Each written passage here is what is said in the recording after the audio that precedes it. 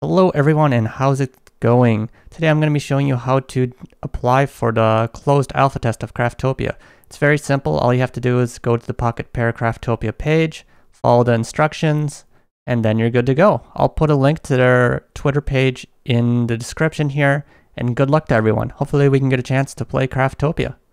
Until next time.